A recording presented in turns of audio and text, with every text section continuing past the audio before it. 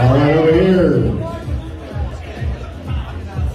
Thank you guys so much. Thanks for the questions. Give it up for your panel one more time.